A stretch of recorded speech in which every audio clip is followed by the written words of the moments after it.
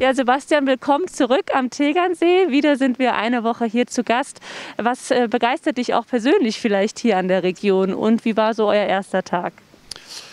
Ja, grundsätzlich ist es einfach, wenn man sich hier umschaut, äh, äh, schön fürs Auge. Heute ist es leider noch wolkenbehangen und es regnet viel, was mir besonders leid tut für die, die Fans, die jetzt hier mit, mit, mit dabei sind.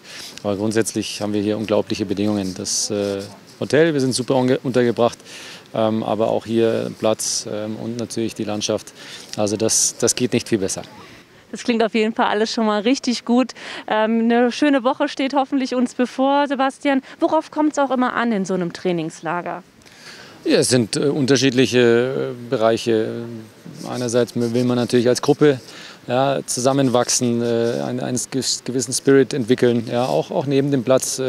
Dann gemeinsam zu tun, um sich auf, auf andere Ebene dann auch äh, ja, mal zu begegnen äh, und kennenzulernen. Wir haben jetzt nicht so viele neue Spieler, ja, mit, mit David Raum, der jetzt gar nicht dabei ist, und, und Angelo, eigentlich nur zwei Neuverpflichtungen. Ähm, und, und trotzdem auch für die anderen ist es immer, immer gut. Und äh, dann aber natürlich auch auf dem Platz äh, geht es darum, die Spielidee ähm, ja, einfach zu festigen, äh, zu entwickeln, ähm, Fitness äh, zu entwickeln. Das sind so die, die Schwerpunkte. Du hast jetzt schon vieles angesprochen. Wir haben bereits einen Test hinter uns, einer dann am Ende des Trainingslagers.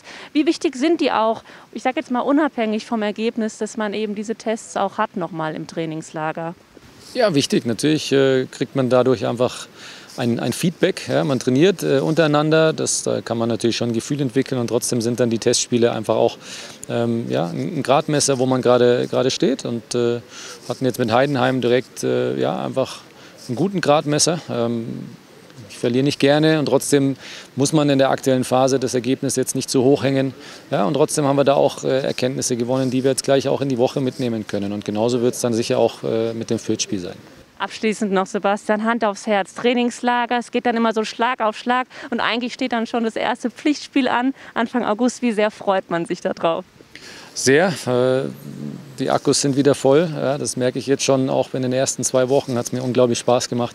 Ähm, und natürlich die Aussicht auf, Fans möglicherweise äh, im Stadion.